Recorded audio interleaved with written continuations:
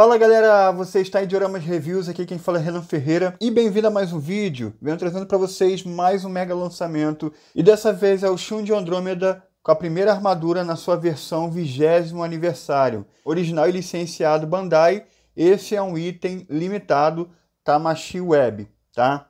Bom, setzinho bem polêmico, né? Nesse vídeo aqui a gente vai mostrar todos os lançamentos né, que foram feitos até hoje. Tá? Vou colocar ali do lado dos demais lançados. Vou fazer o comparativo com o Shun de Andromeda V1 Revival, da própria Bandai, e também do V1 da Great Toys. Colocar todos do lado aí para a gente ver. Né? Review bem completo, tá? E vamos começar com a caixa parda aqui. Como é um item é, Tamashi Web, né? normalmente eles vêm na caixa parda, tá? Que eu sempre mostro para vocês aqui, né? Nada demais. Andromeda Shun, Third Anniversary Version, e vamos fazer o unboxing aqui, tá? Já deslacrar aqui. Vamos lá, já dá para ver a caixa aqui, ó. Eita! E olha aí, galera, ó. Nossa, que caixa linda, cara. É uma obra de arte, né? Isso aqui é, né, mantém a, a arte da Michi Rimeno, a Character Design, né, que trabalhou nos Cavaleiros do Zodíaco, na animação. Sensacional. Já vamos fazer o comparativo aqui, né? Olhar a caixa, já fazendo o comparativo aqui com a versão Revival.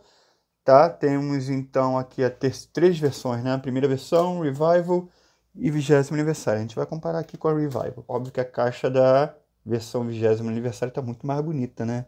Cara, é... não tem nem o que dizer com essas caixas aqui.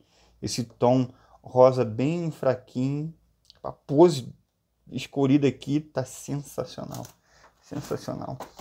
Aqui do lado esquerdo, na versão 20 aniversário, tá o Object, né? Enquanto na versão Revival tá uma pose aqui do, do protótipo. Atrás aqui são bem parecidos, a parte de trás eles costumam ser parecidos. Aqui uma pose do chum mais neutra e aqui né, de ataque. Olha isso, que sensacional. Dando destaque aqui para o set todo e a base, né, que vem a mais.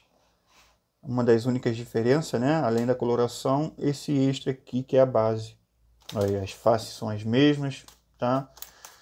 E aqui do outro lado, na versão Revival tem a, a Pandora Box, né? E aqui na versão 20 aniversário mais uma pose do Shun. Top demais em cima aqui. É, igual toda a coleção, né? Que é esse dourado aqui, olha aí. Que maneiro.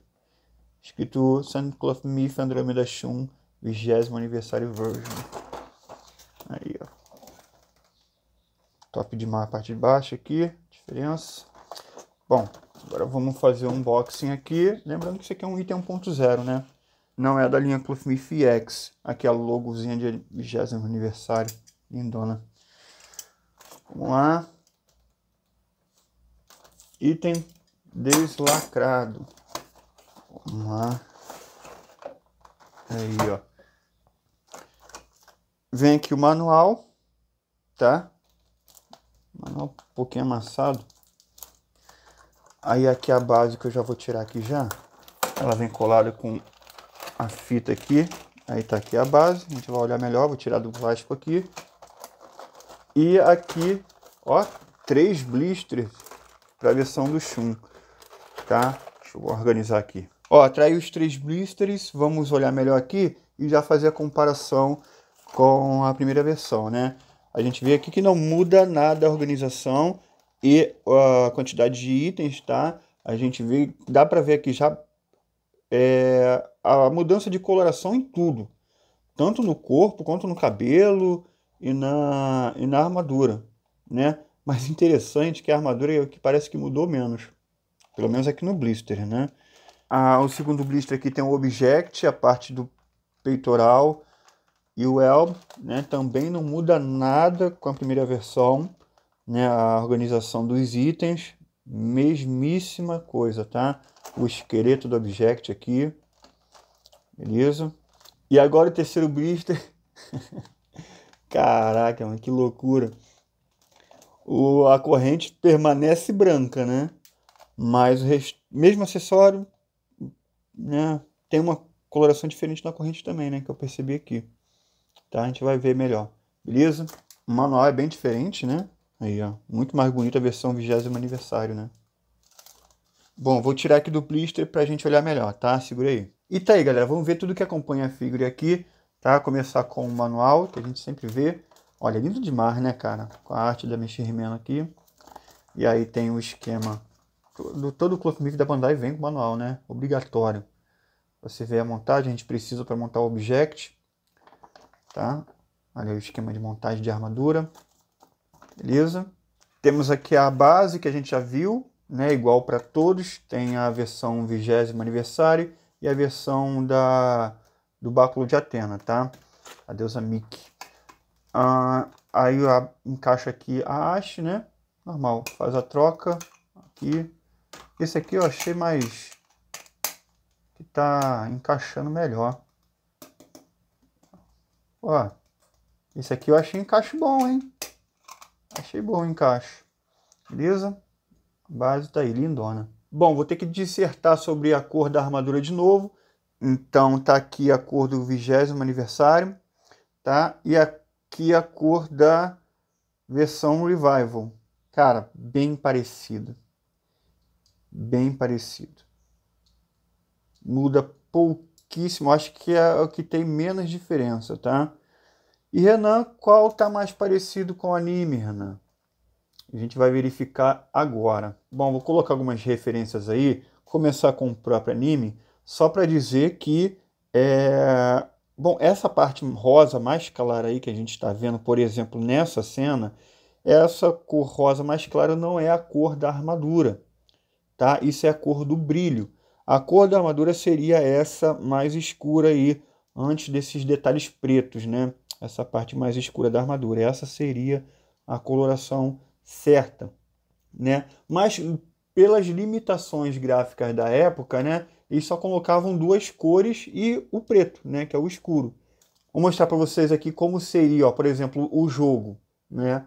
A armadura do Shun do jogo que eles conseguem colocar brilhos, né? Então essa seria uma cor ideal, né? E é uma cor oficial do, da armadura V1 do Shun, né? Com uma tecnologia boa, né? Até em 3D.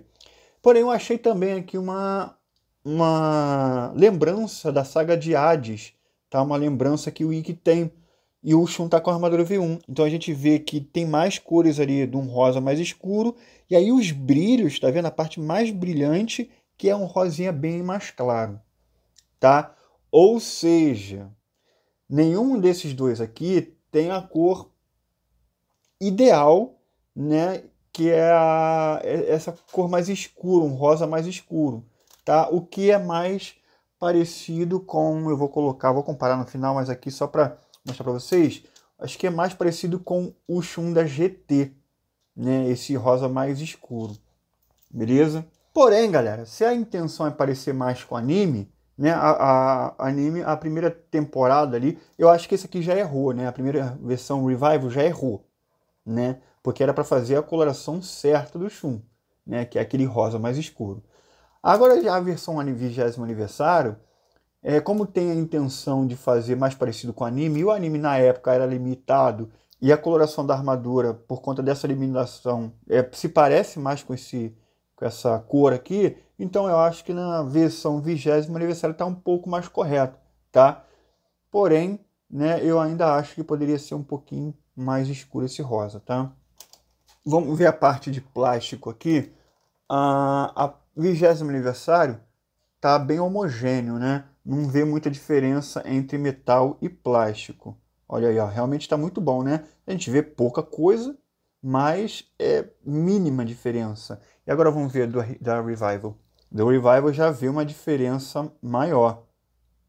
Tá vendo? Então é um ponto positivo aí para a versão 20 aniversário, que estão todos assim, né? Todos os 20 aniversários é, têm mostrado que está mais homogêneo as cores entre peças de metal e de plástico. Vale também destacar né, que aqui o, o elmo está mais branco, né? Tá aquele tom perolado mais branco, o que se parece realmente com o anime da época.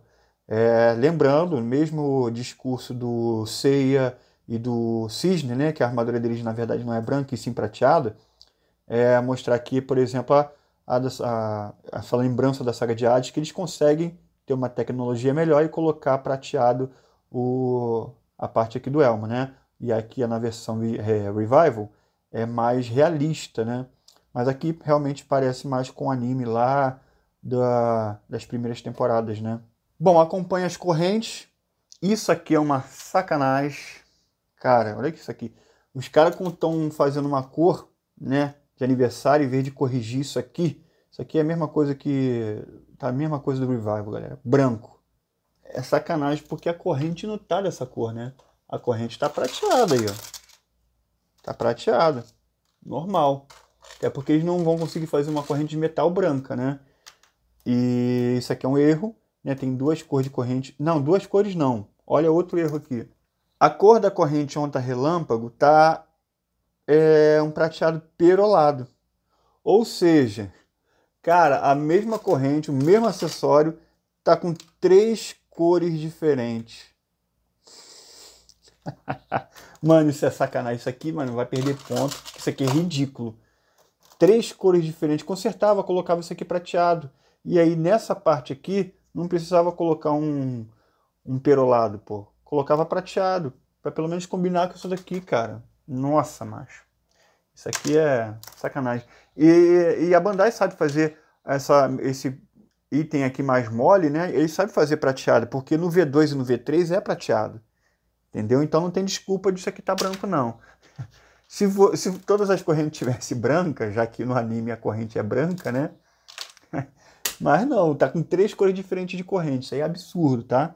Acompanha um, dois, três, quatro pares, cinco pares de mãos, contando as mãos nuas, né? Mãos para segurar a corrente, mão de ataque, mão de interação com a corrente, mão flexionada e mãos fechadas, tá? Vamos ver a diferença aqui. Ah, de coloração, tem uma pequena diferença de coloração, né? Cara, eu acho que esse chão que menos trocou a cor, tá? Pouquíssima diferença. Acompanho o cabelo aqui para usar com o elmo. E aí vamos ver as faces. Tem a face dele aqui rangendo os dentes, tá? Que é bem parecida com a versão Revival. Tá bem parecido. A cor da sobrancelha aqui da versão 20 aniversário tá um pouquinho mais escuro. O resto é igual, até o tom de pele. Expressão de ataque, tá vendo? É a mesma coisa, não muda nada. E aí vamos falar aqui do, da, da Head Sculpt, né? E do corpo. Bom, é, a gente não vai entrar em detalhes aqui sobre o molde, né?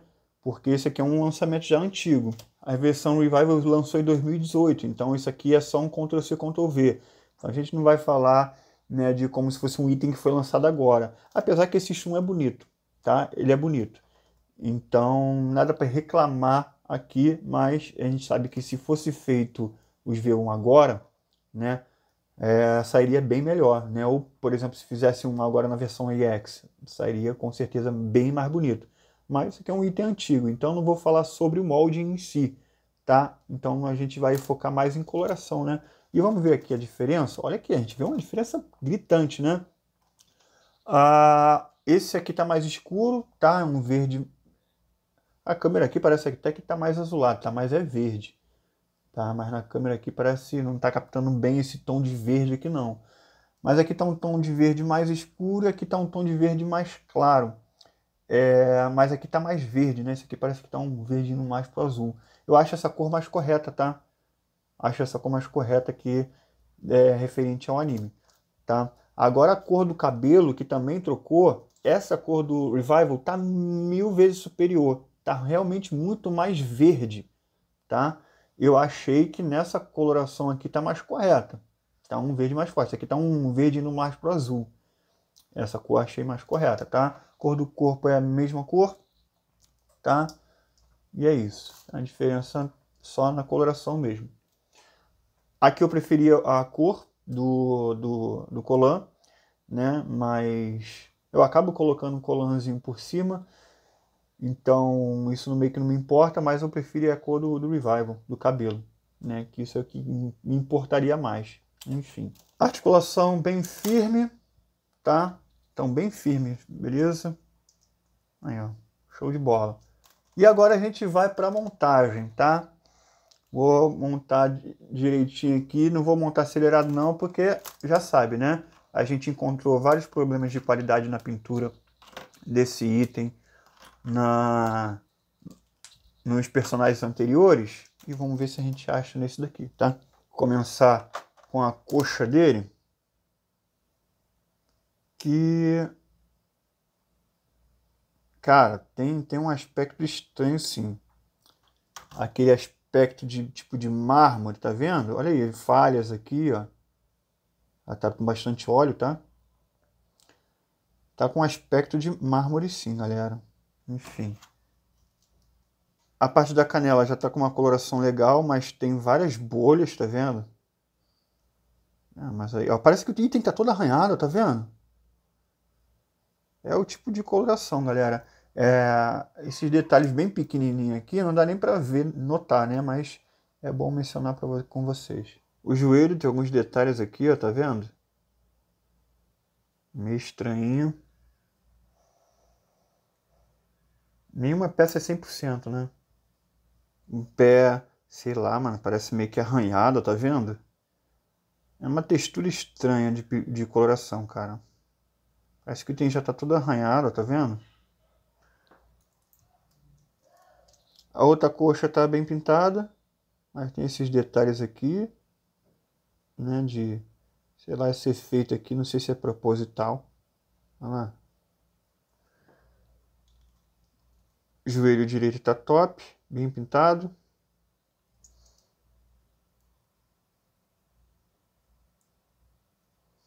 A outra canela até que tá bem pintada. Aí, ó. Legalzinho. Outro pé também bem pintado.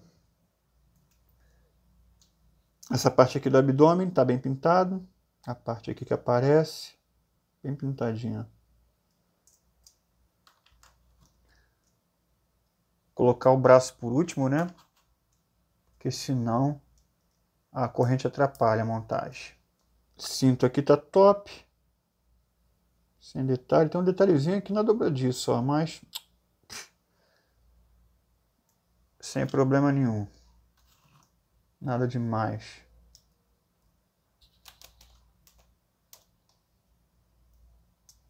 Montagem fácil.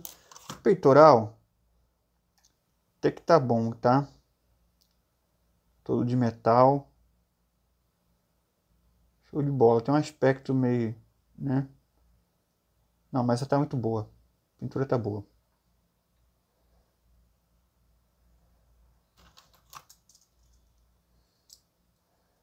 Cor tá bonita, hein? Tá mais vivo esse rosa aqui do que a versão Revival. Tá bonito esse rosa.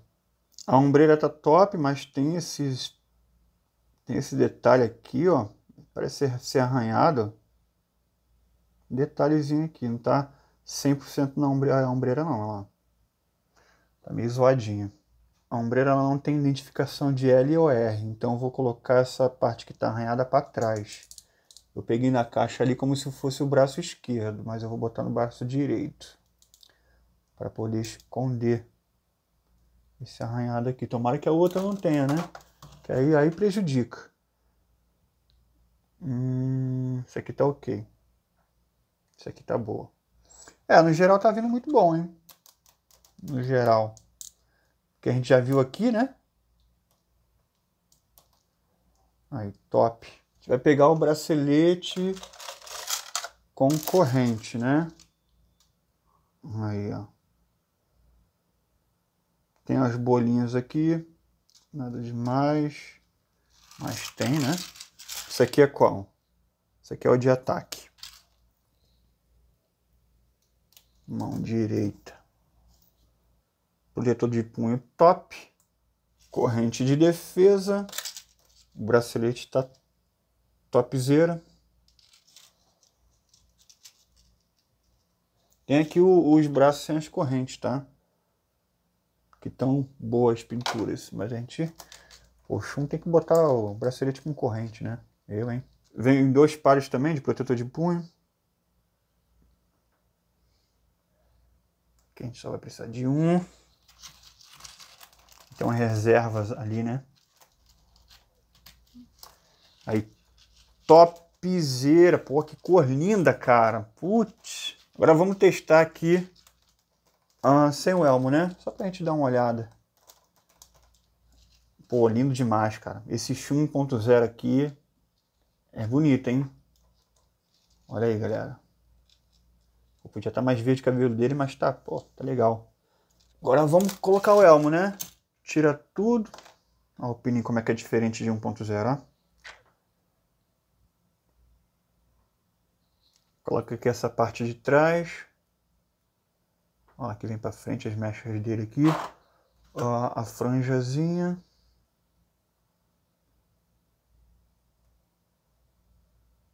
Topzera. E agora o elmo, ó. O elmo tem, tem alguns detalhes aqui, ó, por exemplo. Esse, esse branco é meio zoado, ele tem alguns... Por exemplo, aqui tá mais branco e aqui tá, tá tipo, jogaram pouca tinta, tá ligado? Não é 100% não, 100% não, mas é bonito. É, né, são detalhes aqui que é aceitável, sabe? Não é aquele descasque feio, tudo mais, mas 100% não é, né? Tem que ser sincero aqui. No geral tá bom.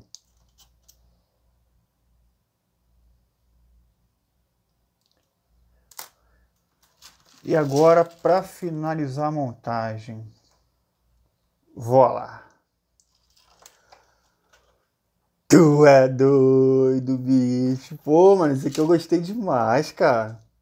Aí tá muito bonito. Muito bonito. A cor tá muito bonita, cara. Ó, um item ótimo, sem problema de montagem, sem problemas graves de pintura, né? Se todos viessem assim, é, eu tenho certeza que ninguém iria reclamar. Né? Tem uns detalhes bobos, óbvio, que a gente preferia que fosse melhor. Né? Acho que mais grave foi isso aqui, hein? Acho que mais grave. O resto, cara, coisa que normalmente vem no, no, em todos os Cloth Myth. Excelente, tá? Esse aqui eu gostei muito. Poxa, esqueci de botar aqui o, o cabelo, doido, ó. Esqueci de colocar. Que nem precisava tirar, né? Precisava sim. Agora sim, ó. Tá topzera. Por algum motivo, o cabelo dele cresce muito. quando, quando coloca ele preso. É, mano, isso é coisa de desenho da época, galera. Mano, que sensacional. Ó, vou fazer o seguinte. É, vou pro take de pose agora, tá? Depois de pose eu faço a comparação com os três, né? Depois eu vou colocar ele do conjunto com os demais já lançado e a gente vai para as considerações finais, tá? Então, vamos lá.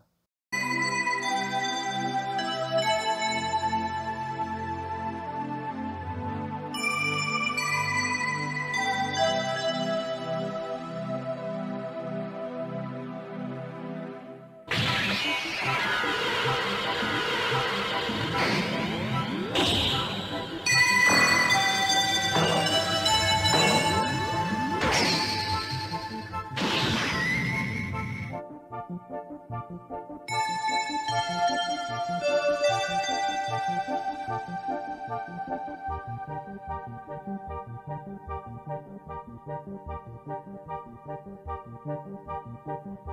you.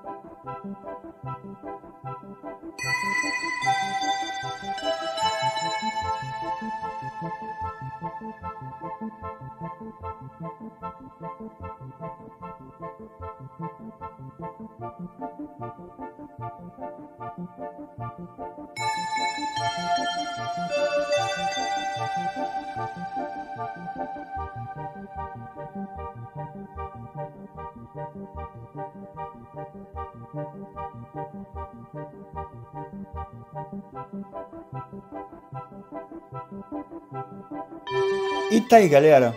A diferença entre as três versões, tá? Então, no total, a gente tem quatro versões aí do Shun, né? A primeira versão, que eu não tenho aqui, a versão Revival, décimo aniversário e né, a não licenciada Great Toys na versão EX. A gente vê que entre todos já lançados, esses aqui, o Shun, foi o que menos teve alteração de cor. Porém, dá para ver meras mudanças sim, tá? A versão 20 aniversário está um rosa mais vivo, né, na cor da armadura. Enquanto a versão Revival está mais água de salsicha. Tá um rosa mais desbotado, sabe? Pô, a 20 aniversário tá lindo demais. Comparando com a, com a versão Revival, né? Tá, pô, tá muito superior. Além de que não tem diferença de peça de metal e de plástico, né? É bem sutil. A versão Revival tem diferença, ó. Dá pra gente ver mais pelo abdômen aqui, tá? Aí se for comparar com a Great Toys, muda tudo, né? Afinal, Great Toys é EX.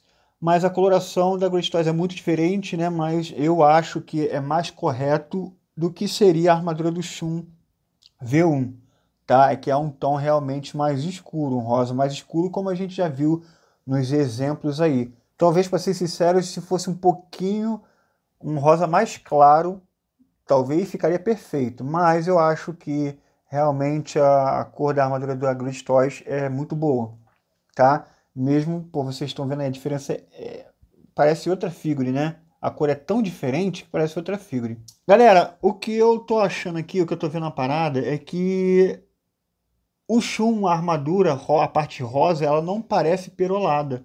Tá muito, muito parecido com a, com a versão Revival né? Só que um rosa mais vivo. Não, não aparenta estar tá perolado, sabia, galera? Então acho que acaba casando com a versão Revival se você pegar só o Shun 20 aniversário e colocar no meio do set ali. Tá? Eu acho que não, não dá muita diferença, não. Realmente, é, além de estar mais bonito, né? Tá mais bonito, mas a diferença tá sutil. Eu só não coloco aqui, galera, o Shun 20 aniversário junto com todos os Revival, porque eu não tenho. Eu tenho pegado os Revival emprestado um por um para fazer o comparativo, né? Então não consigo ter todos aqui para botar o Shun no meio da, da versão Revival, entendeu? Agora vamos focar no Shun e para as considerações finais. Tá aí, meu povo, só falta o Ikki agora. Olha como é que esse set está ficando magnífico, cara. Olha isso.